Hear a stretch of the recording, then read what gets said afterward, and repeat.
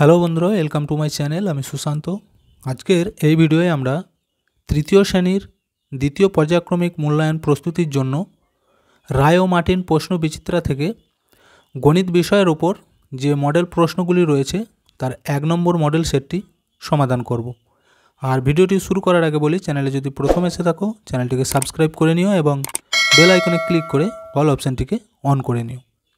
আর দেখো, তোমাদের দ্বিতীয় পরীক্ষা গণিত বিষয়ে যতদূর হবে, সমস্ত অঙ্কই আমি করে দিয়েছি। তোমরা যদি সেগুলি দেখতে চাও প্লেলিস্টে গিয়ে, পরপর সেগুলি দেখে নিতে পারো। আর রায় ও মার্টিন প্রশ্ন বিচিত্রা থেকে যে মডেল প্রশ্ন সেটগুলি আমি কমপ্লিট করে দিচ্ছি, প্রত্যেকটি মডেল সেট তোমরা ভালো করে দেখে নিও। এগুলি যদি ভালো করে শিখে নাও, তাহলে দেখবে পরীক্ষায় সমস্ত প্রশ্নই তোমাদের কমন এসে যাবে। দেখো এখানে একের দাগে কি বলেছে? সঠিক উত্তরটি বেছে লেখো। কয়েকটা কোনো সংখ্যাকে পাঁচ দিয়ে ভাগ করলে ভাগশেষ সর্বদা পাঁচের কম বেশি নাকি সমান হবে?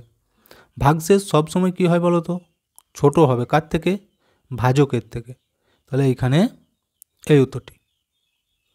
আচ্ছা দুটি বিজোড় সংখ্যার যোগফল বিজোড় হয় নাকি জোড় সংখ্যা হবে? দুটো বিজোড় সংখ্যাকে যোগ করে দেখবে সবসময় সেটা জোড় সংখ্যাই হবে।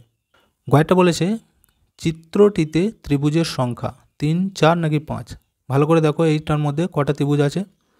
একটা, দুটো, তিনটি। তাহলে এখানে উত্তর হবে এটা আচ্ছা গয়েরটা দেখো। জোর সংখ্যাগুলি সর্বদা দুই, তিন নাকি চার দ্বারা বিভাজ্য হবে। জোর সংখ্যা মানে সবসময় দুই দ্বারা বিভাজ্য। আচ্ছা উয়ারটা দেখো। তিন অঙ্কের বৃহত্তম সংখ্যা একশো নশো নিরানব্বই, নশো সাতাত্তর। কোনটা হবে? তিন অঙ্কের বৃহত্তম সংখ্যা মানে এই তিনটে নয়, অর্থাৎ নশো নিরানব্বই। দুয়ের দাগেরগুলি দেখো কি বলেছে? শূন্যস্থান পূরণ করো। কয়েকটা। কোনো সংখ্যাকে শূন্য দিয়ে গুণ করলে গুণফল ড্যাশ হবে। কী হবে গুণফল? শূন্য হবে। এখানে লিখে দাও, শূন্য। আচ্ছা ভাজ্য সমান ড্যাশ গুণিত ড্যাশ যুক্ত ড্যাশ তাহলে কী হবে বলো তো? ভাজ্য সমান এখানে হয়ে যাবে ভাজক গণিত ভাগফল যুক্ত ভাগ শেষ। আচ্ছা একটি বর্গক্ষেত্রের ড্যাশটি বাহু থাকে, কটা? চারটি। আচ্ছা ঘরেরটা দেখো, এটি হলো একটি ড্যাশ রেখা, কী হবে? বক্র রেখা, ব কয়ের ফল, বক্র রেখা। দেখতে পেয়েছ যে ঢেউ খেলানো?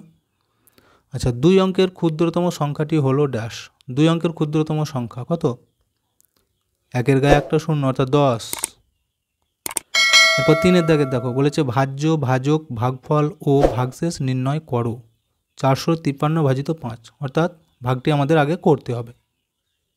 দেখো, তাহলে এখন আমরা ভাগটি করব। তো ভাগ নিশ্চয়ই তোমরা সকলেই জানো তবু আরেকবার বলে দিই।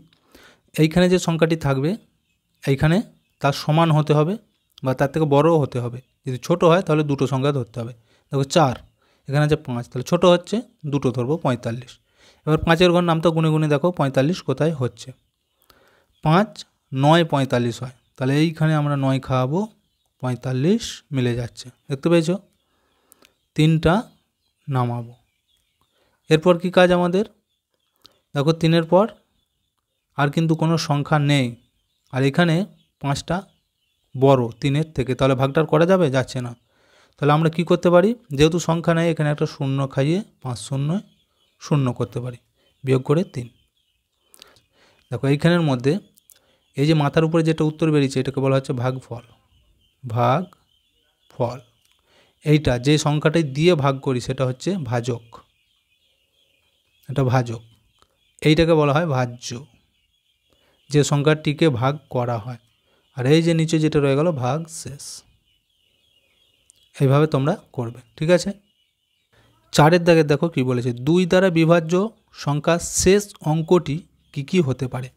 অর্থাৎ দুই দিয়ে যে সংখ্যাগুলি বিভাজ্য হয় তার শেষের অঙ্কটি কি কি হতে পারে? দেখো, শেষের অঙ্কটি হতে পারে শূন্য, দুই, চার, ছয়, আট।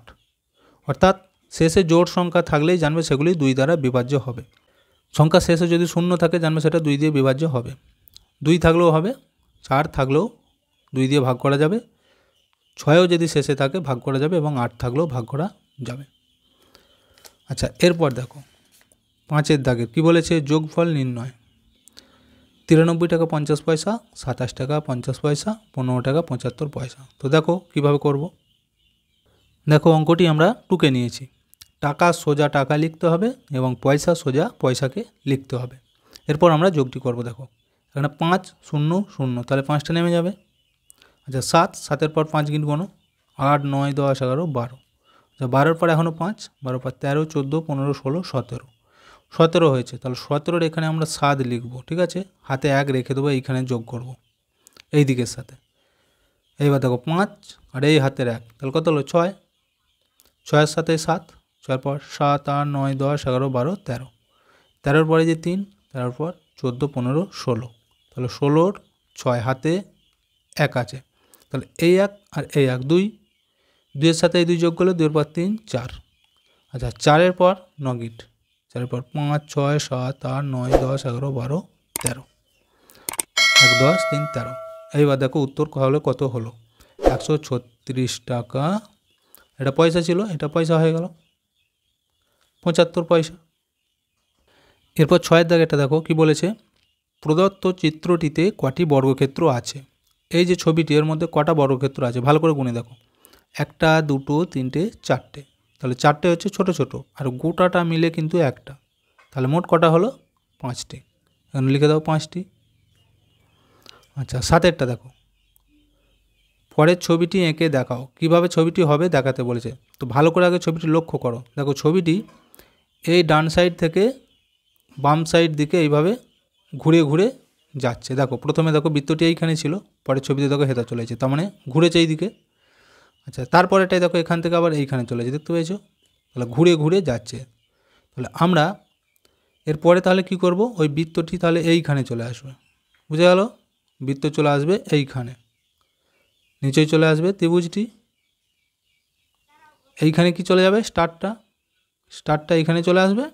আর এই আয়তক্ষেত্রটা এইখানে চলে যাবে। এইভাবে ছবিটি হয়ে যাবে। এরপর দেখো আটের দাগের বলেছে বিয়োগ করো, একশো টাকা পঁচিশ পয়সা, পঞ্চান্ন টাকা পঁচাত্তর পয়সা। তো যোগ, বিয়োগ একই ধরনের নিয়ম, টাকা পয়সার। দেখো এটাও কীভাবে করব? তো বিয়োগ করার নিয়ম কি? বিয়োগের সময় যদি উপরের সংখ্যাটি ছোট হয়, তা সাইডের ঘর থেকে আমাদেরকে ধান নিয়ে বড় করতে হয়, তাই তো? এইখানে দেখো উপরে আছে পঁচিশ, নিচে আছে পঁচাত্তর। তাহলে কি পঁচিশটা ছোট হয়েছে? তাহলে এইখান থেকে আমাদের ধান নিতে হবে, এই দিক থেকে। কত ধান নেব? এক ধান নেব। তাহলে এখানে কত আছে? একশো টাকা তো? একশো টাকা থেকে যদি এক টাকা নিয়ে নিই, এখানে কত পড়ে থাকবে? নিরানব্বই। বুঝে গেল? এইবার দেখো ওই এক টাকাকে আমরা এখানে কিন্তু এক লিখব না, এখানে পয়সায় লিখতে হবে, কারণ এখানে পয়সা আছে। এক টাকা সমান কত পয়সা? একশো পয়সা। তাহলে এখানে একশো লিখে দাও, যেটা ধান নিয়েছি। তাহলে একশো আর এই পঁচিশ, এই দুটোকে একসাথে যোগ করে নাও। তাহলে কত হবে? একশো পঁচিশ হয়ে যাবে উপরে, নিচেই থাকছে পঁচাত্তর। বুঝে গেল? এবার বিয়োগটি করতে সুবিধা হবে, দেখো। এই পাঁচ আর পাঁচ মিলে গেলে শূন্য। সাত থেকে বারো। সাতের পর আট, নয়, দশ, এগারো, বারো। পাঁচ গিঁটে। হাতে এক এক আর একে মিলে গেলে শূন্য। তাহলে এটা হচ্ছে পঞ্চাশ পয়সা। এরপর আমরা বাঁ সাইডে এটা করব। দেখো, এবার এখানে পাঁচ থেকে নয়। কয় গিঁটে হবে? চার গিঁটে। গুনে দেখো, আবার পাঁচ থেকে নয়, চার গিঁটে। তাহলে উত্তর হয়ে গেল, দেখো, চুয়াল্লিশ টাকা পঞ্চাশ পয়সা। এরপর দেখো নয়টা। কি বলেছে? চব্বিশ, সাতাত্তর, চুয়ান্ন, বাষট্টি ও তেত্রিশ। এর মধ্যে তিন দ্বারা বিভাজ্য সংখ্যা কোনগুলি? তো দেখো এগুলি তোমাদের বইয়েতেও কিন্তু দেওয়া রয়েছে যে তিন দ্বারা বিভাজ্যতা নিয়মটা কি? সেটা যদি জানো, খুব সহজেই তোমরা করতে পারবে। নিয়মটা কি? এই যে চব্বিশ সংখ্যাটি রয়েছে, এর মধ্যে কটা অঙ্ক রয়েছে? দুটো। দুই আর চার। কথা হচ্ছে, এই দুটো অঙ্ককে যোগ করে যে উত্তর হবে সেটা যদি তিন দিয়ে ভাগ করা যায়, তাহলে এই চব্বিশ সংখ্যাটিও তিন দ্বারা বিভাজ্য হবে। যেমন ধরো চার আর দুইকে যদি যোগ করি কত হচ্ছে? ছয়। তাই তো? তাহলে ছয়কে কিন্তু তিন দিয়ে ভাগ করা যায়, তার মানে চব্বিশ একটা তিন দ্বারা বিভাজ্য। আচ্ছা তারপর আছে সাতাত্তর। দেখো, সাত আর এই সাত যদি যোগ করি কত হবে? চোদ্দ। চোদ্দোকে কিন্তু তিন দিয়ে ভাগ করা যাবে না। তাহলে সাতাত্তর তিন দ্বারা বিভাজ্য নয়। তারপরে দেখো, চুয়ান্ন। পাঁচ আর চার যদি যোগ করা হয়, হবে নয়। নয়কে কিন্তু তিন দিয়ে ভাগ করা যাবে। তার মানে চুয়ান্নটাও তিন দ্বারা বিভাজ্য। আবার দেখো ছয় আর দুই অর্থাৎ বাষট্টি আছে। ছয় আর এই দুই যদি যোগ করা হয়, উত্তর হচ্ছে আট। আটকে কিন্তু তিন দিয়ে ভাগ করা যাবে না। তাহলে বাষট্টি তিন দ্বারা বিভাজ্য নয়। আচ্ছা এরপরে দেখো তেত্রিশ। তিন আর তিন। দুটো তিনকে যোগ করলে কত হবে? ছয়। ছয়কে কিন্তু তিন দিয়ে ভাগ করা যায়। তাই তো? তার মানে তেত্রিশকেও তিন দিয়ে বিভাজ্য হবে। অর্থাৎ তেত্রিশটাও তিন দ্বারা বিভাজ্য। এইভাবে উত্তরগুলি বার করবে। আচ্ছা এরপরে দেখো, দশেরটা। তোমার কাছে একশো পঁয়ত্রিশটি ফুল আছে। ফুলগুলি দিয়ে তুমি পাঁচটি মালা গাঁথলে প্রতি মালায় কটি করে ফুল আছে।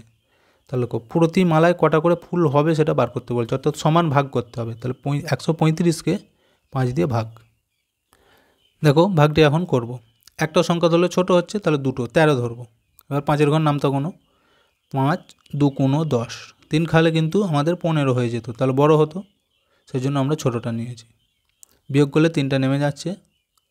একই দিকটাও মিলে গেছে, তাহলে তিন, পাঁচটা নামাবো, পঁয়ত্রিশ। এবার পাঁচের ঘর নামতা গুনে দেখো। পাঁচ, সাতে পঁয়ত্রিশ। তাহলে উত্তর কিন্তু বেরিয়েছে আমাদের সাতাশ। এই যে এখানে কী চেয়েছিল?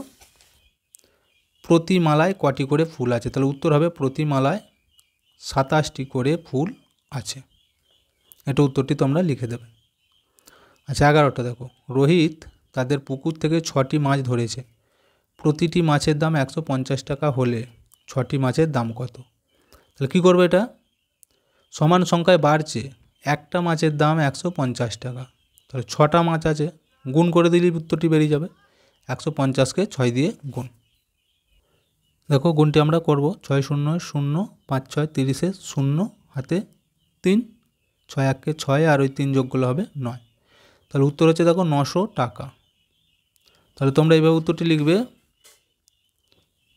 ছটি মাছের দাম নশো টাকা। বারোটা দেখো এবার। কোনো একটি পরিবার প্রতিদিন একশো পঁচিশটি পুতুল তৈরি করে। সাত দিনে তারা কটি পুতুল তৈরি করবে? দেখো এখানেও তাই, সমান সংখ্যায় কিন্তু বাড়ছে। একদিনেতেই একশো পঁচিশটা, তাহলে সাত দিন যদি তৈরি করে, তাহলে কী বাড়ছে? একশো পঁচিশকে সাত দিয়ে গুণ করে দাও, সমান সংখ্যায় যখনই বাড়বে গুণ করে দেবে। দেখো গুণটি এখন করে নেব, পাঁচ সাতে পঁয়ত্রিশের পাঁচ, হাতে তিন, সাত দুগুণে চোদ্দ, আর এই তিন যোগগুলো হবে সতেরো সতেরো সাত, হাতে এক, সাত একে সাত আর একে আট, তাহলে কত হয়েছে? আটশো পঁচাত্তর। তাহলে উত্তরটি আমরা এইভাবে লিখব, এই যে বলেছে সাত দিনে তারা কটি পুতুল তৈরি করবে, উত্তরটি হয়ে যাবে সাত দিনে তারা আটশো পঁচাত্তরটি পুতুল তৈরি করবে। আচ্ছা তেরোটা দেখো। আটশো বারোটি আপেল আটটি বাক্সে সমান ভাগে ভাগ করে রাখা হলো। প্রতি বাক্সে কটি করে আপেল থাকবে?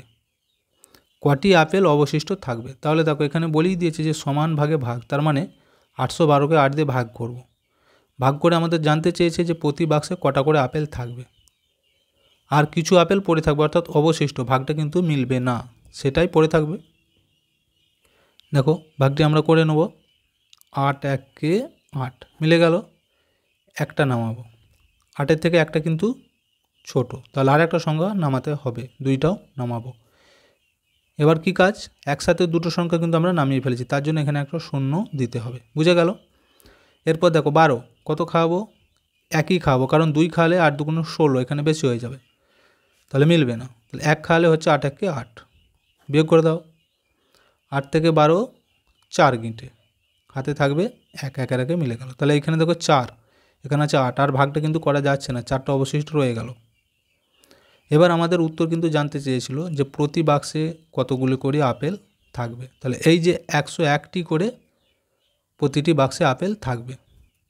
আর বলেছিল কিছু আপেল অবশিষ্ট থাকবে। তাহলে অবশিষ্ট কোনটা? এই দেখো, নিচে রয়ে গেছে। যেটা এই যে রয়ে গেল, এটা অবশিষ্ট পড়ে থাকবে চারটি। উত্তরটি তোমরা এই বই দেখে লিখে দেবে। তো ভিডিওটি আজকে আমরা এখানেই শেষ করছি। ভিডিওটি যদি ভালো লাগে, অবশ্যই একটা লাইক দিয়ে দিও এবং শেয়ার করে বন্ধুদেরকেও দেখার সুযোগ করে দিও।